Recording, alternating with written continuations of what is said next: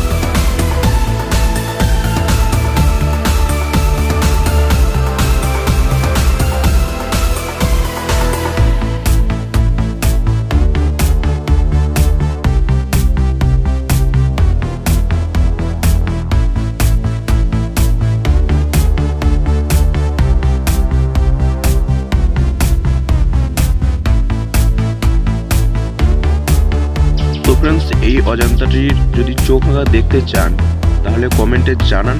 আমি চোখ আঁকার ভিডিও নিয়ে খুব তাড়াতাড়ি আসছি।